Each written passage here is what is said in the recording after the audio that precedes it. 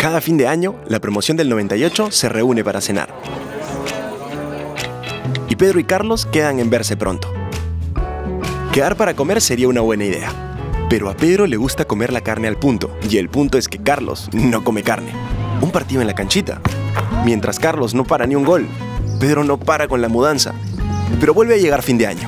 Esa época especial donde todos nos volvemos a encontrar. Es tiempo de encontrarse. Este fin de año viaja con Cabify.